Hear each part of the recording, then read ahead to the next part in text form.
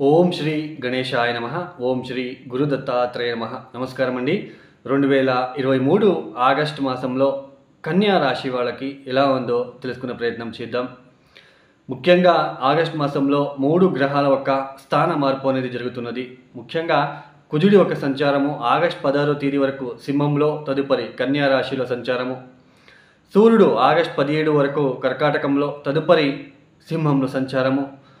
తర్వాత మనకి శుక్రుడు కూడా ఆగస్ట్ ఐదవ తేదీ వరకు మాత్రమే సింహంలో తదుపరి వక్రించి కర్కాటక రాశుల సంచారము.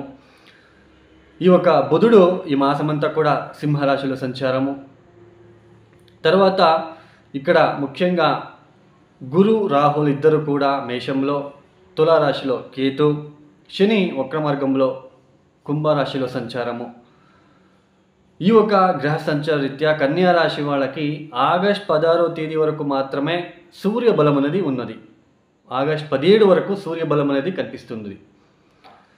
తర్వాత వచ్చే అన్నీ కూడా అంటే మనకి బుధుడు కూడా వ్యయస్థానంలో తర్వాత సూర్యుడు ఆగస్ట్ పదిహేడు తర్వాత వ్యయస్థానంలో కుజుడు ఆగస్ట్ పదహారో తేదీ తర్వాత జన్మంలో. ఇలా కన్యా రాశి వాళ్ళకి ఒక్క సూర్యగ్రహ మార్పు అనేది అంటే ఒక ఆగస్ట్ పదిహేడు వరకు మాత్రమే సూర్యుడు అభివృద్ధి పరంగా ఉంటున్నాడు అని చెప్పవచ్చు. ఆగస్ట్ పదిహేడు తర్వాత ఆయన కూడా ఇబ్బందులు అంటే వ్యయస్థానానికి వచ్చేస్తాడు. ఆగస్ట్ పదిహేడు తర్వాత కుజుడు కూడా జన్మంలో రావడము ఆగస్ట్ పదిహేడు తర్వాత సూర్యుడు వ్యయస్థానంలో రావడము చాలా ఇబ్బందులు ఈ ఒక కన్యా రాశి వాళ్ళకి. అష్టంలో ఉంటున్న గురువు ఆరో స్థానంలో శని వక్రించి ఉండడము ఆ శనిని సూర్యుడు చూడడము తర్వాత ఆ శనిని కుజుడు కూడా చూడడము ఇవన్నీ కూడా చాలా ఇబ్బందులు. ఆగస్ట్ పదిహేడు తర్వాత జన్మంలోకి వచ్చేస్తాడు కుజుడు. చాలా ఇబ్బందులు. కోపాలు ఆవేశాలకి గురి అవ్వడము చాలా హస్బెండ్ అండ్ వైఫ్ మధ్య విభేదాలు తర్వాత సపరేషన్ లాంటివి జరగడము చాలా ఇబ్బందులు పడాలి చాలా జాగ్రత్తగా ఉండాలి కన్యా రాశి వాళ్ళు. వ్యయస్థానంలో ఉంటున్న సూర్యుడు ఆగస్ట్ పదిహేడు తర్వాత వ్యయస్థానంలోకి వచ్చేస్తాడు. అప్పుడు కాస్త మీ యొక్క వస్తువులను జాగ్రత్తగా చూసుకోవాలి. చోరీలు జరగడము అంటే ఈ యొక్క దొంగలు మీ మీద పడడం కావచ్చు మీ యొక్క విలువైన వస్తువులు పోగొట్టుకోవడం లాంటివి తర్వాత ఆరోగ్యపరమైన ఇబ్బందులు రుణాల పరమంగా ఇబ్బందులు ఏదైతే గతంలో మీరు చేసిన అప్పులకి ఇప్పుడు వాళ్ళు వచ్చి మిమ్మల్ని చాలా ఇబ్బంది పెట్ట పెట్టడం లాంటివి ఎక్కువగా కనిపిస్తూ ఉంటుంది. తర్వాత ముఖ్యంగా ఆరోగ్యపరమైన ఇబ్బందులు నీరసము ఆయాసము టైర్డ్నెస్ లాంటివి బాగా నిద్ర లేకుండా ఉండడము కోపానికి గురి అవ్వడము ఇవన్నీ ఎక్కువగా కనిపిస్తూ ఉంటుంది. భార్యాభర్తల మధ్య అనుకోని విభేదాలు ఎక్కువగా అయ్యే సూచనలు ఎక్కువగా ఉంటుంది ఈ యొక్క కన్యా రాశి వాళ్ళకి. అయితే మీ యొక్క దశాభక్తి మీ యొక్క జన్మజాతకంలో నడుస్తున్న దశాభక్తి బాగున్నట్లు కనుకైతే అయితే ఇబ్బందులు ఉండదు. దశాభక్తి కూడా బాగాలేదు అంటే నేను చెప్పేవన్నీ కూడా ఆల్మోస్ట్ మీకు వర్తిస్తాయని చెప్పవచ్చు. అష్టమస్థానంలో ఉంటున్న గురు రాహులు ద్వితీయంలో ఉంటున్న కేతు కుటుంబంలో చికాకులు తర్వాత మనకి ముఖ్యంగా దీర్ఘకాలిక వ్యాధులు వచ్చే సూచనలు ఇవన్నీ కూడా తర్వాత తరచూ హాస్పిటల్ లాంటికి వెళ్ళడము ఎక్కువగా కనిపిస్తూ ఉంటుంది.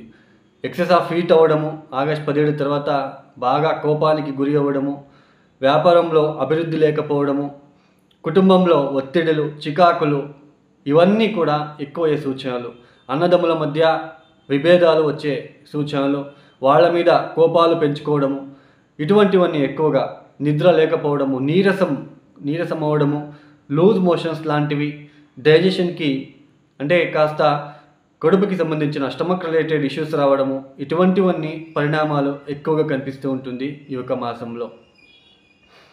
అంటే ఈ యొక్క మాసంలో శుక్రుడు మనకి శు సంపూర్ణమైన శుభ ఫలితాలను ఇస్తున్నారు. ఈ యొక్క కన్యా రాశి వాళ్ళకి సంపూర్ణమైన శుభ ఫలితాలని అందిస్తున్నారు. ఆగస్ట్ ఐదవ తేదీ తర్వాత ఆయన లాభస్థానంలోకి వెళ్ళిపోతారు కాబట్టి కాస్త శుభ ఫలితాలు శుభ పరిణామాలు ఎక్కువగా ఉంటాయి. ఆయన వల్ల మాత్రమే ఈ యొక్క మాసం అంతా కూడా చిన్నపాటి శుభ ఫలితాంశాలు వచ్చే సూచనలు ఎక్కువగా ఉంటాయి.